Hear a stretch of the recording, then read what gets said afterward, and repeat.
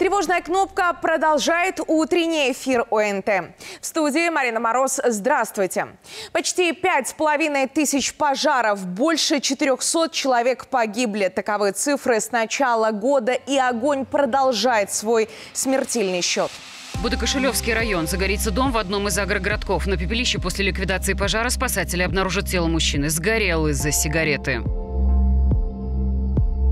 Прокурит свою жизнь мужчина в Лицком районе без шансов на жизнь. За последние дни в Гродненской области случится еще четыре пожара. Сгорят и два дома в одном из садовых товариществ Гродненского района и подвал многоэтажки в самом Гродно. К счастью, в этих историях без жертв. Отвоюет у огня и человека в Борисове. Спасатели вызовут жильцы многоэтажки. Дымится соседняя квартира. Мужчину бойцы МЧС найдут на кухне. Госпитализация спасенному не потребовалась. Больше никто не пострадал. К другим новостям. В столице задержан 26-летний педофил. Сколько лет жертве? Наша переписка начиналась с обычного «привет». Заканчивалась, правда, фотографиями 18+, и требованиями прислать в ответ такие же. Кроме того, настойчиво своих жертв он приглашал в гости, где... Предлагал с ними вступить в половую связь. Девушкам, с которыми я знакомился, было от 14 и более лет. И все это до 15 лет тюрьмы. Таков срок для педофилов. Проверяется его причастность к иным сексуальным преступлениям в отношении детей. Сотрудники органов внутренних дел постоянно мониторят соцсети и мессенджеры с целью своевременного выявления и привлечения к ответственности лиц, причастных к развратным действиям в отношении несовершеннолетних. Развели на неделе и столичного школьника не на интим, на деньги.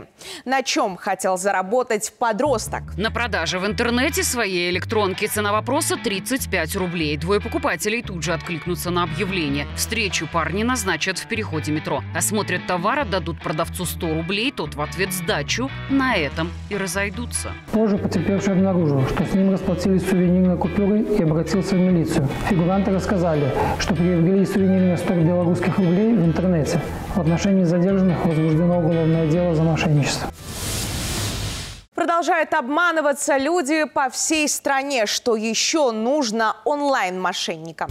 За один день сразу трое станут жертвами онлайн-аферистов. Все хотели купить новые телефоны. Выгодные предложения все трое нашли в Инстаграме. Там была скидка до 8 часов вечера.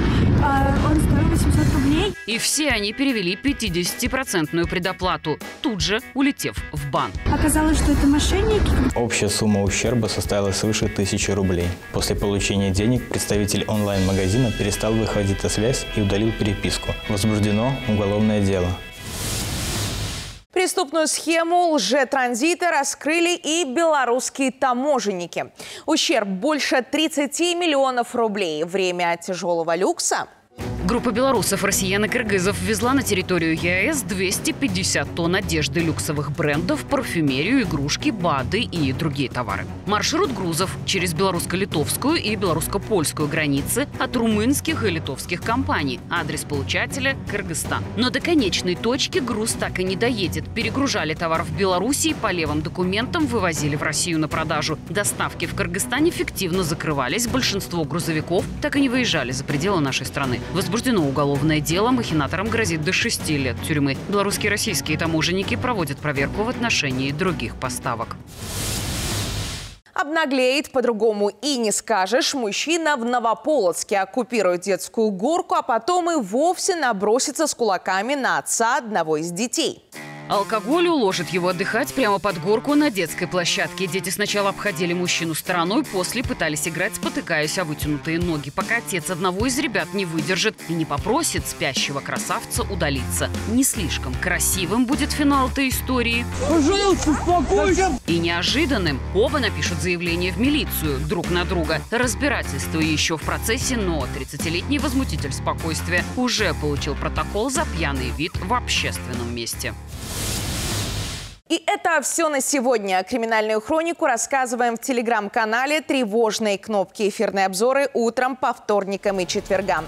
И итоги подведем уже завтра в пятницу в 17.30 на ОНТ. Будьте бдительны и берегите себя.